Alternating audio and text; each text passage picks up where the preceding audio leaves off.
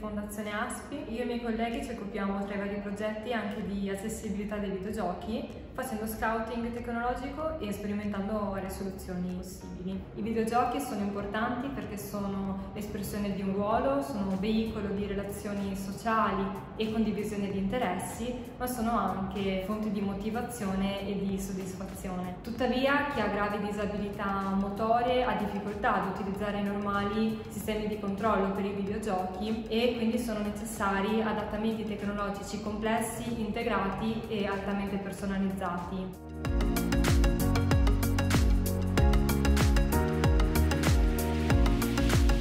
Ciao, sono Marco di Fondazione Aspi. L'oggetto rosso che vedete è un joystick da bocca utilizzato per controllare il movimento personaggio nel videogioco. Consente anche di simulare la pressione di due pulsanti tramite il soffio e l'aspirazione. Il cerchietto nero sulla testa permette di emulare il mouse tramite il movimento del capo, grazie a un sensore giroscopico.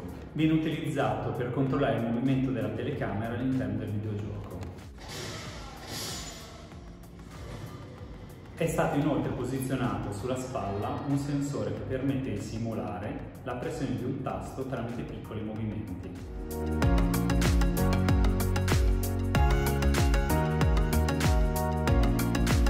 Oggi vi racconto di Dennis che sin da quando era ragazzino ha sempre avuto una grande passione per i videogiochi. Da circa 20 anni, a causa di un evento traumatico, vive una condizione di tetraplegia, quindi con un'impossibilità di movimenti di arti e tronco, però movimenti residui di spalle e di capo. Oh, là, mi ha fatto un salto. Vai, tacca. Bene. Oh. Ottimo. Muoviti, muoviti. Poi ovviamente ci vuole pratica anche sul movimento. Oh, oh, via.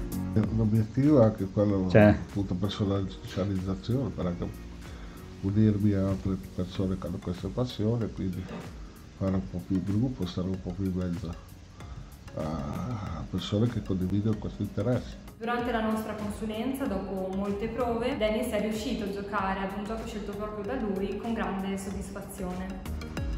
Vai, ok.